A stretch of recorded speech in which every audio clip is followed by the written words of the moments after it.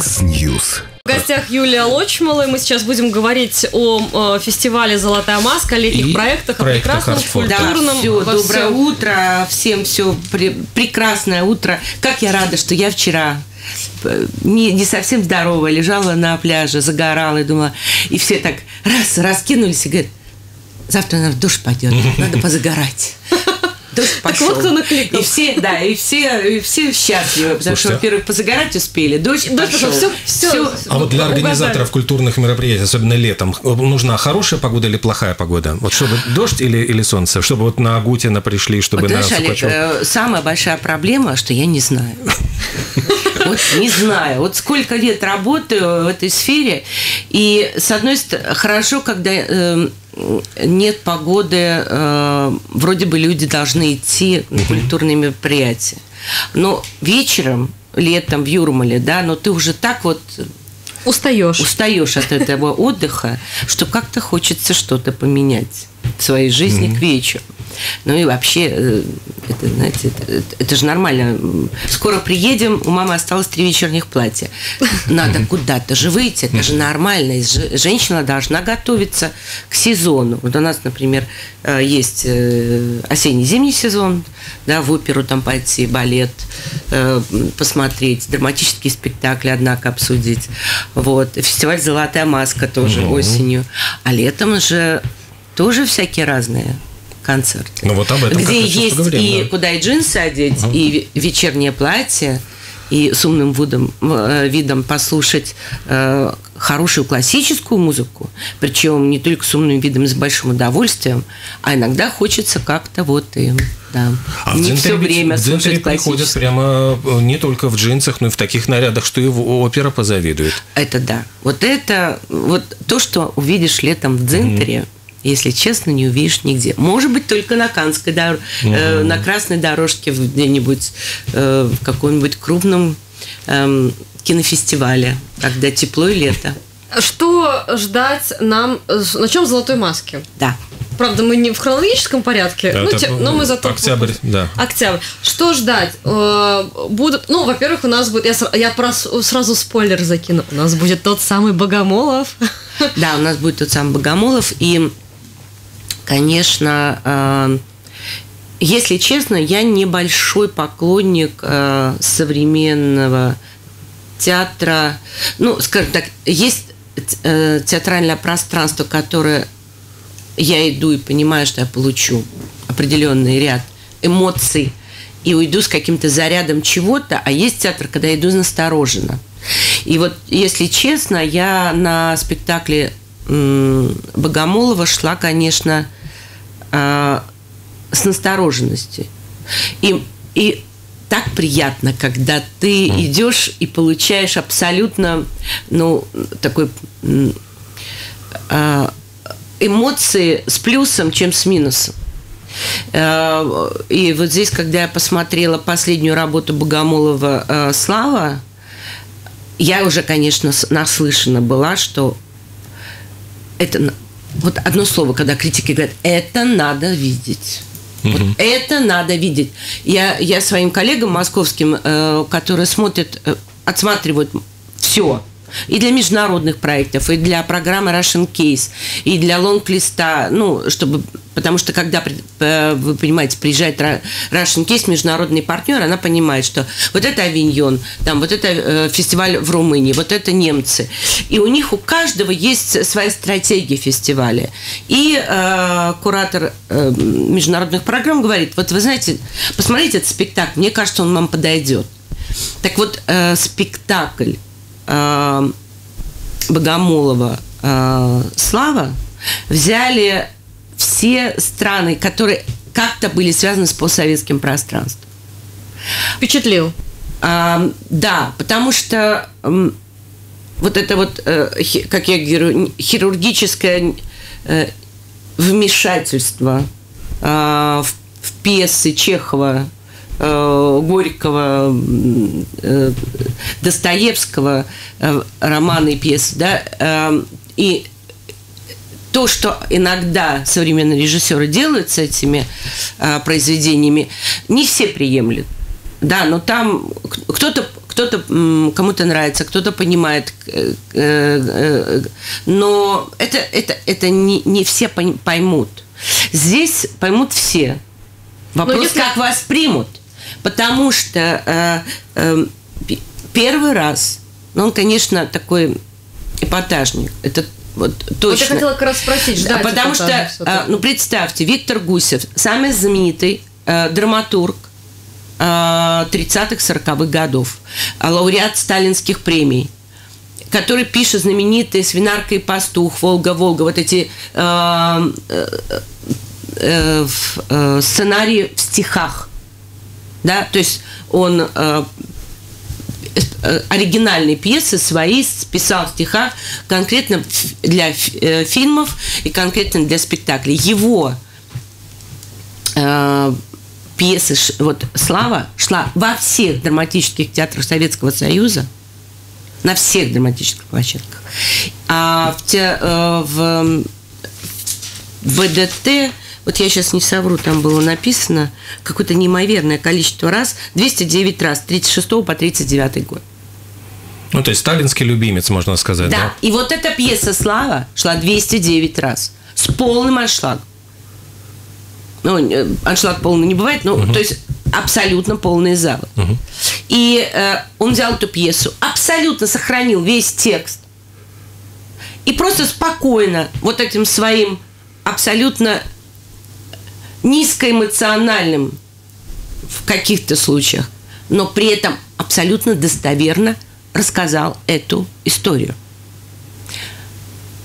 Ему, конечно, колоссально повезло, потому что то, как играют артисты БДТ, и как играет Нина Усатова, вот эту знаменитую мать, у которой все сыновья и герои, и вот это вот звучит. И, и больше всего меня поразило на этом спектакле, что я видела, что в одном и том же месте, на одной и той же фразе молодое поколение смеется в голос, а у стариков течет слеза.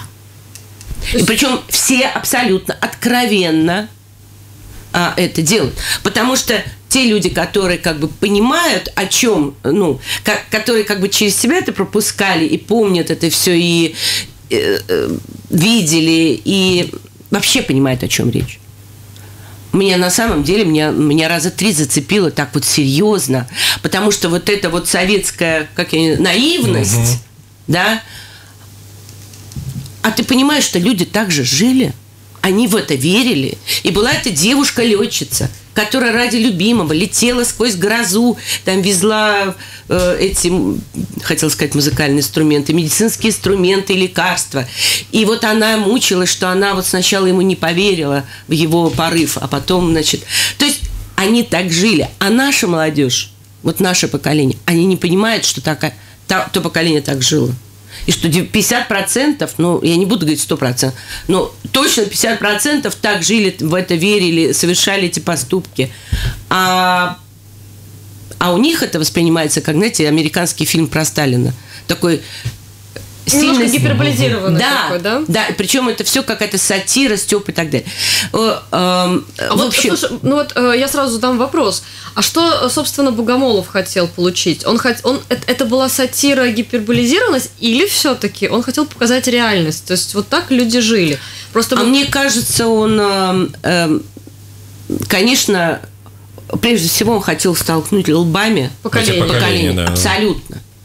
А, и- но при этом в э, на примере сидел его отец, и я смотрела, кстати, тоже э, реакцию, э, потому что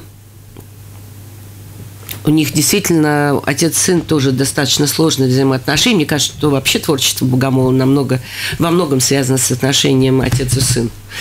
А, м, мне кажется, он работал еще и на поколении своего отца. какая наверное, реакция отца была? А, Плакал? Там, где смеялась не, не, не, не, не, не, нет. э, Видно было, что он был доволен этой работой своего сына. А этот спектакль, он э, это больше работа Богомола, то есть здесь актерская или режиссерская Ой, конечно, все-таки? слушайте, ну, актерская работа, вот если кто-то смотрел бы ДТ «Пьяный», э, то, что мы привозили, а, э, во-первых, половина актеров именно этот состав, совершенно гениально. Все-таки, конечно, актерская школа, но это вот у них совершенно своя э, актерская школа, которая отличается. Там додинцы играют по-своему, БДТ угу. играют по э, актеры БДТ по-своему, актеры МХТ играют Горького и Чехова угу. по-разному, да. Но меня подкупает, насколько профессионально и при этом с такой ответственностью работают просто. Ладно, ну, в общем, это надо смотреть. То же самое надо смотреть Сережа. Я э, хочу сказать, что Сережа МХТ не Чехова. Да? Крымов. Это надо... Это м, ассоциации, связанные с э, романом э, Льва Николаевича Толстого «Анна Каренина». Это то... Но там не такая концовка? Нет. То есть поезд вот. будет? Поезд Нет, будет? поезд, поезд маленький такой маленький а. паровозик по сцене. Угу. Вообще э, какой-то идет символизм. Э, абсолютно символизм, но э, э, я так поняла, что это отношение маленького мальчика Сережи к тому, что происходило вокруг него. Вот первое, что мне пришло на ум, что это то, что происходило в романе, отношения между родителями, глазами мальчика, глазами да? мальчика. Вот это абсолютно мое ощущение. Хотя, конечно, не пон... э, понятно, что Крымов э, дает все свои ассоциации, все свои символы э, именно свои. Но вот не, не просто так Сережа называют. Плакать? Придется? Нет. Конечно, где-то абсолютно у всех мам защемит сердце во многих местах. Но там, конечно, и очень большое ощущение того, что Каренин через себя пропускает тоже эти события через свой... Угу. Каре, э, Анна Каренина, Вронский. Там все, все вроде есть, но это абсолютно не роман Анна Каренина, на мой взгляд. Это э, э, такие, знаете, пролетающий ветер над романом Анна Каренина. Ну вот, э, если мы посмотрим даже описание тоже Сережи, и, собственно, сам Крымов говорит о том, что э, он хотел сделать Анну Каренину, ну, не совсем как Анну Каренину, то есть там да, не, это будут да. какие-то отдельные, э, отдаленные мотивы, напоминающие, собственно, да. этот великий роман, то есть ни, ни Левина, ни Кити, ни, ни кваса, ни рубахи, аппетитных стерлядей, устриц тоже не будет. А что будет тогда? Как же без, без устриц? И стерляди. И А, а, стерляди. вот, я даже не знаю, что вам ответить. Мы, вот Юля подумает, что нам ответить. У нас сейчас перерыв на новости. Мы потом вернемся и поговорим дальше о Золотой Москве и этих проектах.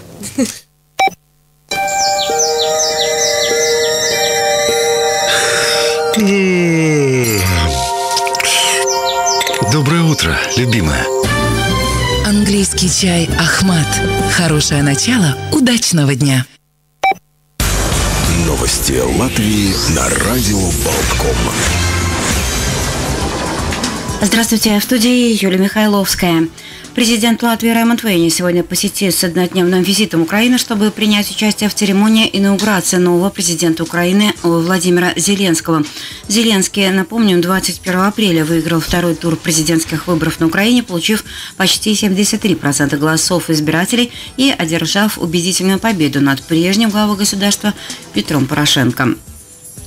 В воскресенье вечером в Саукраста автомобиль врезался в дерево. Его водитель погиб, а пассажир пострадал, сообщает государственная полиция. Трагическая авария произошла около 10 часов вечера на главной улице города а, улице Айнажу. Мужчина 85-го года рождения на автомобиле Mercedes-Benz врезался в дерево и погиб на месте происшествия, а его пассажир получил травмы.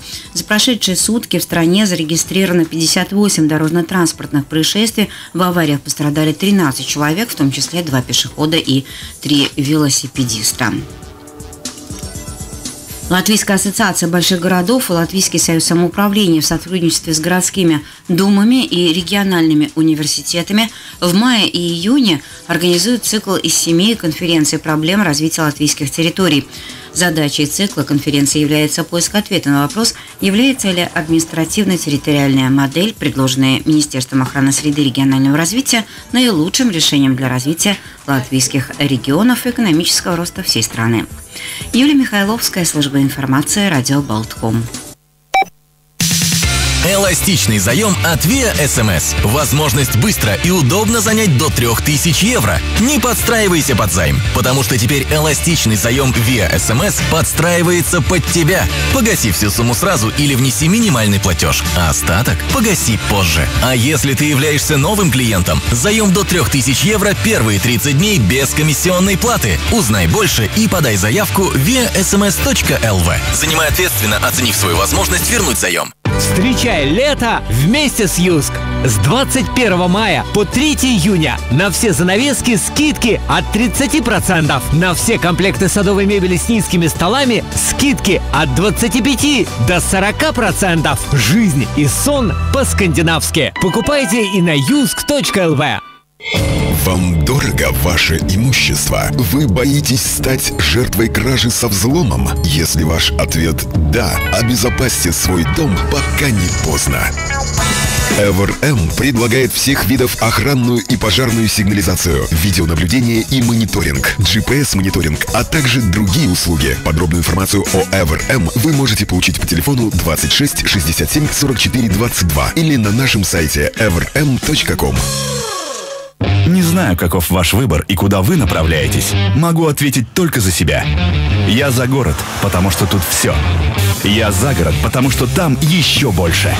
Определяйся с TC Motors и покупай Subaru Forester со скидкой 5000 евро. Полный привод, коробка автомат, три года гарантии и бесплатного обслуживания входят в стандартную комплектацию. Запомни, Forester со скидкой 5000 евро в TC Motors Subaru Crasta или на www TCM.LV.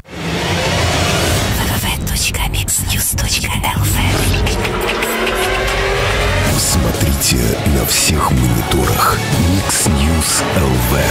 Мультимедийный информационный портал. Утро на Болткоме. Продолжается утро на Болткоме. Мы говорим о театре «Золотая маска». Юлия Лочмана у нас в студии. Мы как раз вот остановились на том...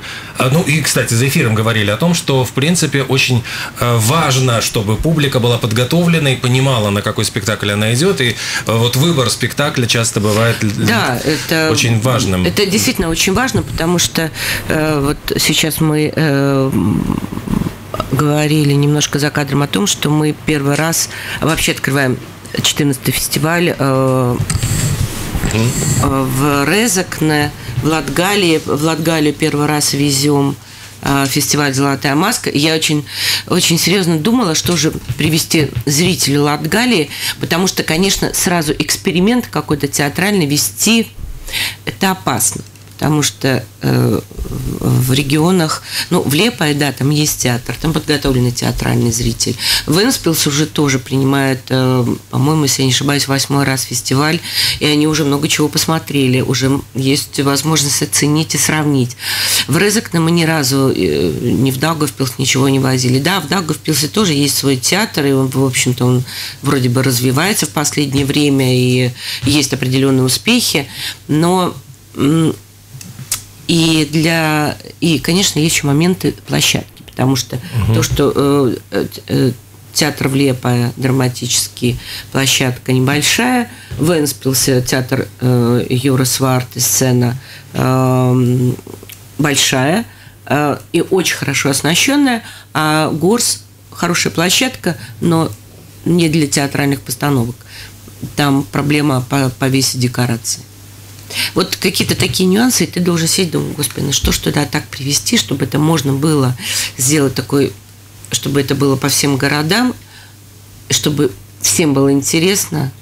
И вот мы выбрали, на мой взгляд, абсолютно правильную историю. Это э, спектакль «Обещание на рассвете», театр Пушкина по э, автобиографическому, да, Равангари. И, э, кстати, фильм сейчас выйдет. Очень Он хороший уже вышел, французский. уже вышел, да, с Шарлоттой Гинзбург, там вот она блистает. Прекрасно. А вот здесь будет блистать э, э, э, Урсуляк и Александра и Андрей Заводюк. И Урсуляк сумасшедше справилась с этой ролью. Она просто вот... Я Я- хочу сказать, а если поставить Урсуляк и вот эту французскую актрису, я даже не знаю, кто справился лучше. Эм, По крайней мере, мне было очень интересно смотреть и то, и другое. Сначала посмотрел спектакль, потом фильм, то есть я вот сравнивала mm-hmm. какие-то нюансы, моменты. Мне кажется, некоторые моменты Урсуляк сыграла более э, сильно. Мне так показалось. Ну, вообще, это один из моих любимых романов, и мне всегда казалось, э, ну, поскольку это ведь а, автобиографический роман да. с внутренними монологами, вот как его можно перенести на сцену? Вот То есть это, это кажется... очень интересно, э, и я вот советую посмотреть, потому что все, что э, хотели, хотел сказать автор в этом романе, все понятно. То есть там не все, естественно, не полностью, но прослеживается э, вся сюжетная линия, то есть просто какие-то нюансы небольшие выпущены. Из, э, не, ну, не, не, невозможно все показать в спектакле. Вот. И очень, конечно, я думаю, что это работа. В общем, мне очень жаль, что мы не везем ее в Ригу. То есть ее вот нельзя будет посмотреть, вот придется вот, вот ехать. Так. А, да, поэтому мы, мы вообще давно уже делаем театр, театральный туризм. Езжайте в Лепо или в Энспилс на выходные. В конце концов, хватит сидеть дома Да. Уже. Нет, я вам объясню, это не потому, что мы не хотели, или потому, что там у нас бюджетных денег не хватило. Там, ну, потому что бюджет, во-первых, тоже есть. А, а, потому что театр на так долго не может уехать на такое время не может уехать э, определенные артисты, не могут уехать.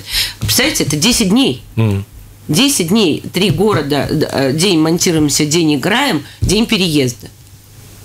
Ну, такой режим, да. А мы как раз здесь вот за, за эфиром, пока были новости, говорили об отборе, в общем-то, постановок, которые нам сюда привозят.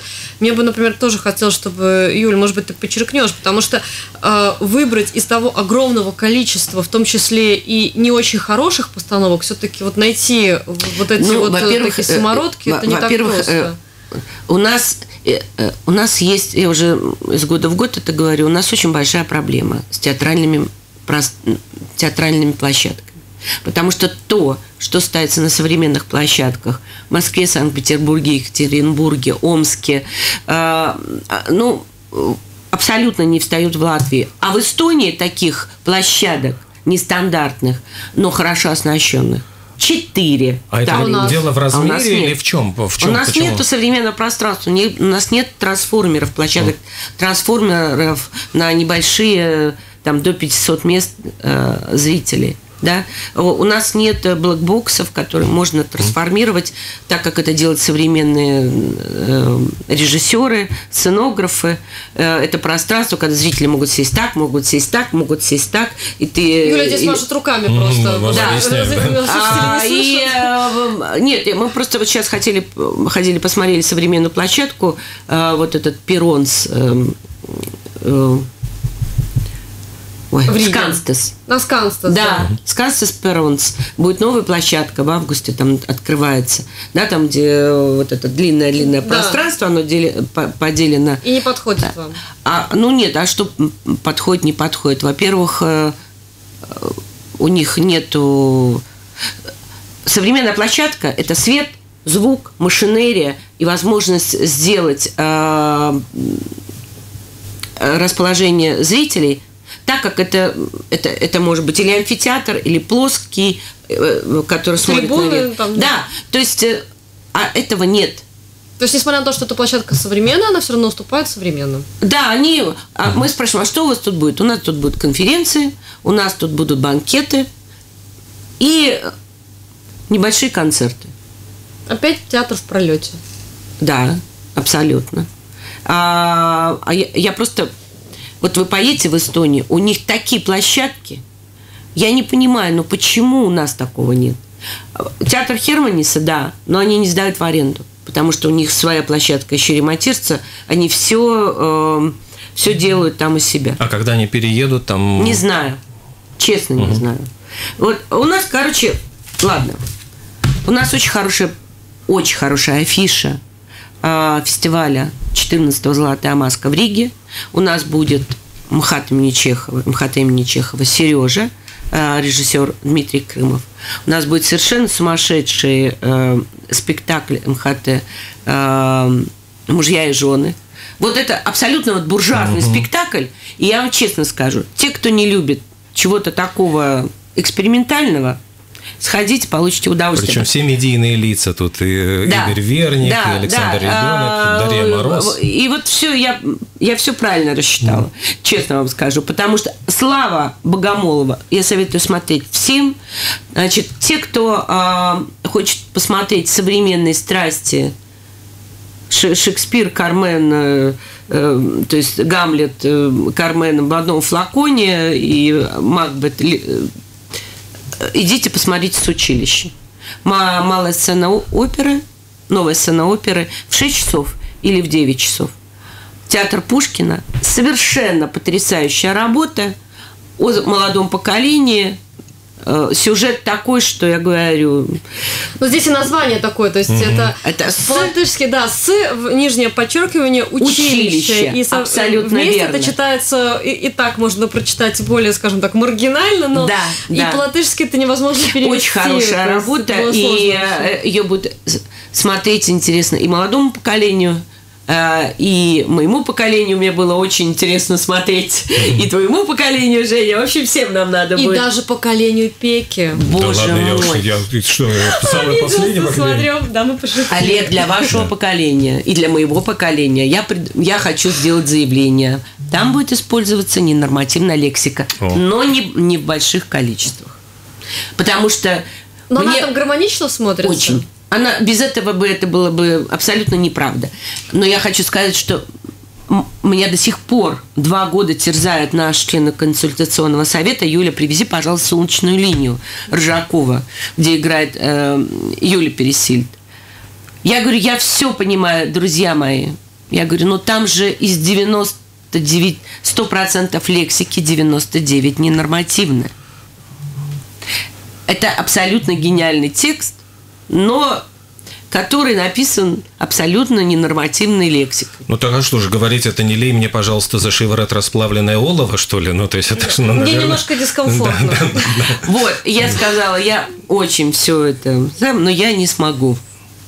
Не смогу я, мне, меня же не поймет половина населения. Да, Они ну, все равно ну, пойдут и все равно будут возмущаться. Хотя перед каждым спектаклем Ржаков выходит и говорит, господа, я еще раз очень сильно вас прошу, пожалуйста, подумайте, если вы хотите уйти, вот там сидит женщина, она отдаст вам деньги, пожалуйста, уйдите То есть прям сразу. заранее предупреждают? Да, абсолютно. И все равно все говорят, нет, мы послушаем, а потом А потом, повозмущаемся. потом повозмущаемся. Лучше бы я ушел. Да, абсолютно. Вот, поэтому э, я призываю всех заранее все прочитать, призываю заранее купить билет, потому что, если честно, у нас уже на несколько спектаклей билетов практически нет. Да, но здесь еще такой момент. Мы были на пресс-конференции, когда Золотая маска презентовала э, свою программу, значит, Да. осеннюю. И я говорю Юле, представляешь, сколько людей придут на Богомолова, чтобы посмотреть, кто ж там Собчак теперь тусуется. И Юля настолько не испорченная в этом смысле, говорит, как, ну у него такая постановка. Я говорю, ну они не будут читать, они придут А кто смотреть такая на Богомолова. Собчак? Да, Они придут смотреть на Богомолова. Ну, какая- ну, я надеюсь, Кстати, еще еще, во-первых, не факт, что Константин приедет, хотя я знаю, что вроде бы такие разговоры есть. Я знаю то, что он едет в Израиль, потому что сейчас тоже э, будет фестиваль «Золотая маска», в мае он туда едет. Не знаю, доедет до нас или нет, но то, что э, господин Крымов до нас доедет, это точно, потому что будет работать с- со студентами. А, И э, я очень надеюсь, что у нас получится шикарная совершенно лекция Смелянского «120 лет МХТ». О. И если он приедет, это будет, конечно, громадный подарок для всех. Праздник будет. То У есть это, это такое нас- дополнение будет для Это было бы, я театралов? просто очень-очень хочу именно в этом году э, эти знаменитые лекции об истории МХТ с с этими художественными фильмами. Э, вот нам сейчас надо просто получить все разрешения и заручиться, что он, что он все-таки приедет из Америки к нам. И это будет совершенно... А вот в следующем году я хочу Ваню Вырупаева. Какие, какой А все-таки как мы он хотим, гениальный. а как мы Какой хотим он Ваню гениальный. Вот Вырупаева. эти... Я сейчас посмотрела иранскую конференцию на 20-й год. на- Слушайте, ну я гениальнейший... Ну, я не понимаю, как ему приходят в голову такие мысли, такие слова, которые сейчас пробивают всех. У нас не так много времени осталось до конца эфира. Я бы хотела, чтобы Юля рассказала о своих летних проектах. Поскольку летом же, да, будет. Лето-то быстрее, чем Ой, э, слушайте, чем- лето, чем ну, вообще лето будет очень красиво. Я посмотрела не только... э, у нас так много фестивалей, э, такая сильная конкуренция. Но мы решили так точечно сделать какие-то вещи, эх, которые мне нравятся, и маме моей понравятся. Знаете, я говорю, я вот все время думаю, а маме понравится. Туда точно маму не приглашу. Ну, вот точно маму не приглашу на концерт Гарика Сукачева. Не поймет. Зато на этот концерт собираются мои дочери. Вот, потому что... Что неудивительно. Да, Понятно. вот. Да То есть, я э, с удовольствием. и моем поколении Ва- тоже. Да, я тоже, я тоже. Я ездила специально в Калининград послушать этот концерт 59-59, да, с Галаниным, с Вороном, с. Гариком. Шикарно. Вот там наша публика была, Олег, с Огонь тобой. Там, такие дядечки с барсетками зажигали там на А они, танцполе. между прочим, сейчас самые модные, Юля. 90-е в тренде. Да вообще просто. Даже женщины теперь да, да красавцы все. И просто смотреть приятно, потому что не просто так, а со смыслом А же Юля опять танцуют. машет руками, кто не видит. Да, да. Вот. И вот 8 июля концертный зал Дзинтери. м, Мы всех ждем на этом прекрасном концерте. А 12 июня начинаем мы свой летний э, концертный сезон. А, В юбилейном концертом тоже моего э, любимого исполнителя Леонида Агутина. Я еще подумала, вдруг Агутин, смотри. а угадала. да, да. Вот э, Всем будет мо- могут хей. быть у женщины слабости. Вот у меня Леонид Агутин Ну, видишь, Юля, пока это не Стас Михайлов, Не-не-не-не. А я понимаю, что все у тебя впереди. А, Во-первых, э, Джазовое будет там вот его это вот направление? джаз у нас будет хибла, опера. Нет, я имею в виду у Агутина. У Агутина Агутин- обязательно будет. Да, он же, же у прямо... него очень хороший концерт. Этот я была тоже вот как раз осма- э, смотрела на его юбилейный концерт. У него очень хорошая история. Он и свои старые хиты и э, новые и э, и, джа- и- и джазовые вот это. Я даже не знаю, как это напра- направление музыки назвать, да? У него оттенок такой. Кстати, мало кто знает. Все воспринимают Агутина. Многие, кто не знает, они воспринимают Агутина как вот хоп хей ла ла и босоногий Не-не-не-не-не, мальчик. А на самом он деле очень достаточно серьезный Он с сильный музыкант. Альди тип. Миолой же записывал Да, Да, альбом. да, да. Альди да, Миолой, кстати, да. потрясающая совершенно А, композиция. И Я у него, во-первых, конечно, э, на том юбилейном было очень много друзей. В этом году он сказал, я говорю, вы ко- кого-то хотите пригласить? Он говорит, нет, говорит, у вас, э, мне достаточно будет, будет если придет Интерс. Ю- Юля Лочмала, если придет, Интерс, будет э, хорошо. мы с ним пели на моем юбилее в Сочи. Я думаю, это было бы замечательно, если мы повторим. Но вот я надеюсь, что они уже созвонились и договорились, что они там будут прекрасно петь э, вместе. Вот. И э, у нас будет очень красивых два проекта. Наш проект, и уже, как я говорю, артфорт и классика, это Хибла Герсмава, э, будет проект опера джаз, где э, этот проект уже э, Хибла несколько раз э, делала и в России, и за рубежом, но э, это э, джазовые интерпретации оперы, а, это и оперные арии э, как таковые, э, и это будет группа Дагамба, эксперимент тоже во втором э, отделении концерта. Э, это будет очень интересно. Очень интересно, очень красиво и необычно. И 9 э, июля, Июля. э, то есть Хибла у нас будет концерт 4 августа, а 9 июля мы делаем большой э, э, гала-концерт э, «Московская оперета. Лучшие хиты э, классических оперет, лучшие хиты советских мюзиклов и зарубежных мюзиклов. Это очень красивая программа. Мы специально с э, Владимиром э, Тартаковским ее сделали для публики Юрмалы. Я думаю, что это будет такой большой, красивый праздник для э, я сама с удовольствием послушаю, но я знаю, что моя мама наконец скажет, что я привезла хоть один приличный проект летом. Скажет, Юля, наконец-то, да? наконец-то. Да, ну во- вообще... ну, Вообще, а то сколько можно? да. Просто безобразие вот это все. Пойти некуда. Пойти. И послушать Юля, я правильно понимаю, что как прежде чем к, к нам приезжает, вот, э, скажем, там, ну ладно, спектакль понятно, это все отсматривается, концерты, ты куда-то едешь, смотришь концерт, думаешь, хорошо, привезу, привозишь, Нет, еще ну, раз конечно, смотреть, это, да? это не так. Сначала я думаю, что неплохо бы было бы это. Я еду смотреть, слушать, общаться. И, конечно, вот эта стратегия на 2-3 года вперед думать, что же мы вам привезем. А, То есть ты из тех людей, которые утром просыпаются, «О, у Милазы же юбилей через три года, да? И начинают его Нет, искать. ну, Так вообще это попса это не наше направление, э, если честно. Но я просто, я благодарна своей работе, что если вот мне что-то понравилось, и это по формату может подойти а, или летний сезон, или осенне-зимний сезон, а, то, конечно, я очень рада каким-то открытиям, которые мне нравятся, и я считаю, что это можно показать на нашем Ну. там, театральном или музыкальном рынке. Но ведь за три года может как раз поменяться программа, то есть артист может вообще записать три Да, новых альбома да, и да, вообще конечно, то, что было конечно. три года назад. Не, ну, во-первых, это обсуждается. Во-первых, это обсуждается. Самое главное, чтобы они понимали, что у них, вот это их дата, это их год, э, месяц, э, потому что ну, у многих на три года все расписано, и втиснуться просто невозможно. Особенно если это, например, там оперные пев- певцы или там балетные какие-то звезды, а, это, это сложно. И то же самое с театрами. А У нас бывают такие форс-мажоры, извините, актриса забеременела. Ничего себе, никогда не было, и вот опять. Да. И вот э, И у нас, например, сейчас в этом сезоне э, две декретницы будут играть на сцене. Одна, которая только-только, а которая вторая, которая летом. Понимаете? Вот э, да, и э, нет, вообще у нас классная, конечно, работа, нервная. Классно да. работа, нервная. А, Глаз дергается по утрам. э, Мне очень... Мне, мы с тобой говорили, это очень сложно. Отсматривать 10 и из 10 получить один какой-то замечательный спектакль или какой-то проект, который ты говоришь, вот оно, вот это, вот это то, что мы можем привести.